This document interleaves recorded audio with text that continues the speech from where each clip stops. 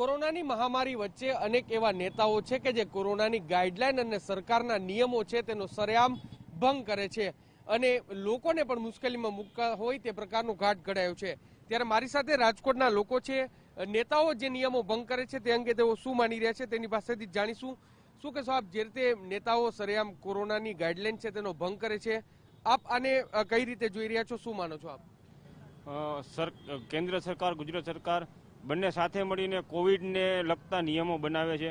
પોતે જ ઠરાવ પાસ કરીને કહે છે કે ભાઈ કોરોના છે, સોશિયલ ડિસ્ટન્સ જાળવો, માસ્ક પહેરો, સેનિટાઈઝર વાપરો જાહેર સભા સરઘસ ના કરો. અને પોતાના જ વિજય સરઘસ છે, નવા હોદ્દેદારોની વરણી થઈ અને શહેર પ્રમુખની વરણી થાય. હવે જોવાનું એ છે કે જે તે વખતે સભા સરઘસ કરે, પછી જ્યારે એને પૂછવામાં આવે કે ભાઈ તમે આ કેમ કરો છો, આમ કેમ પબ્લિક ભેગી કરો છો, તો કે અમારા ધ્યાનમાં નહોતું અને પબ્લિક આવી ગઈ. દર વખતે એક જ રટેલો જવાબ છે કે અમારા ધ્યાન બહાર થઈ ગયું અને ઉત્સાહમાં બધા આવી ગયા. તો કોરોનાના સંક્રમણની અસર વધારે થાય છે. આમ પ્રજાને દંડવાનું છોડો અને તમે પોતે સોશિયલ ડિસ્ટન્સ જાળવો. તમારા તમારા કાર્યક્રમ પૈતા પછી જ સંક્રમણના અસર વધીને પાંચથી છ દિવસમાં વધે છે અને પ્રજાને દંડવાનું બંધ કરો.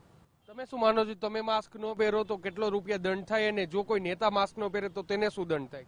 અમે જો માસ્ક ન પહેરીએ તો અમારા ઉપર હજાર રૂપિયા, પંદરસો રૂપિયા તાત્કાલિક લોકો વસૂલ વસૂલે છે.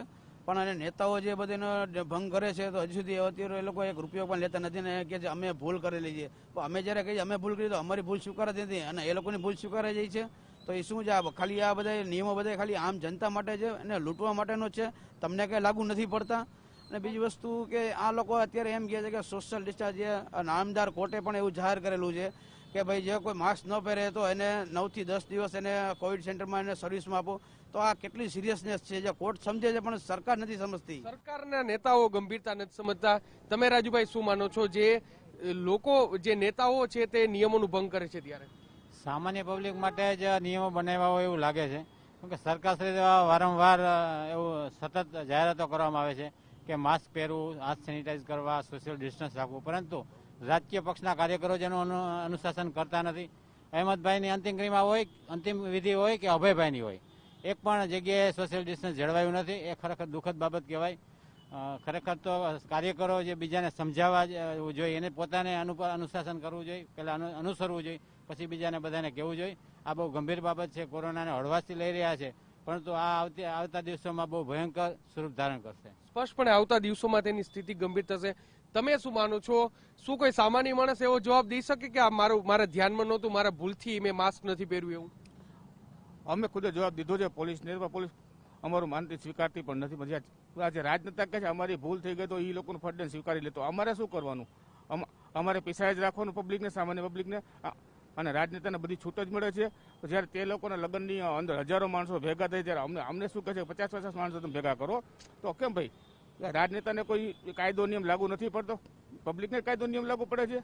એટલે મીડિયામાં આવે ત્યારબાદ જે કાર્યવાહી છે તે થતી હોય છે. તમે શું માનો છો કે જે જે નેતાઓ નિયમ ભંગ કરે છે? કેટલે અંશે યોગ્ય? આ લોકો નિયમ ભંગ કરે છે. એ લોકો માટે તો બરોબર છે ને. આ લોકો કહે છે કે સરકાર અમારી છે, અમે સરકારમાં ગમે રીતનું પગલું ભરશું. અમારી માટે કોઈ જાતના ધારાધોરણ લાગુ નથી પડતા.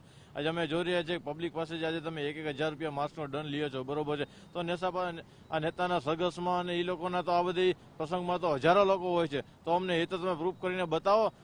મીડિયામાં અને પેપર ન્યૂઝમાં તમે એટલું બતાવો કે આટલો આ લોકો પાસે દંડ લીધેલો છે. દંડ લેવાની તો કોઈ વિસંગતા નથી. અને બીજા નંબરમાં મેં જોઈએ છીએ કે આજે રાજકોટમાં જે મોડી રોડ ઉપર જ્યાં જે આનંદ બંગલા ચોકમાં જે ઉદય કોવિડ સેન્ટરમાં જે આગ લાગેલી હતી, એનું પ્રકરણ પણ અમે જોઈએ છીએ કે એમાં જે ડોક્ટર લોકોને આ લોકોએ સરેઆમ જામીન મુક્ત કર્યા છે, બરોબર. એમાં જોઈએ છીએ કે આ લોકોને એક, આ લોકોને ઘટના ઉપર આ લોકો ઢાંક પીછડો કરવાની જે આ લોકો પ્રકરણ કરી રહ્યા છે.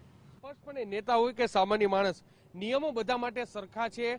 કોવિડની ગાઈડલાઈન છે તેનું ચુસ્તપણે દરેક લોકોએ પાલન કરવું જોઈએ, પરંતુ કમનસીબની વાત એ છે કે નેતાઓ પર કાર્યવાહી છે, તે મીડિયામાં રિપોર્ટ આવ્યા બાદ જ થતી હોય છે અને સામાન્ય માણસ છે. સામાન્ય માણસે પણ નિયમો તોડવાનો કોઈ પ્રકારનો હક નથી અને તે રીતે નેતાઓએ પણ કોઈ પણ પ્રકારના નિયમો ન તોડવા જોઈએ તેવું રાજકોટવાસીઓ માની રહ્યા છે. કેમેરા પર્સન હિમાંશુ મકવાણા સાથે મોહિત ભટ્ટ, ટીવી નાઇન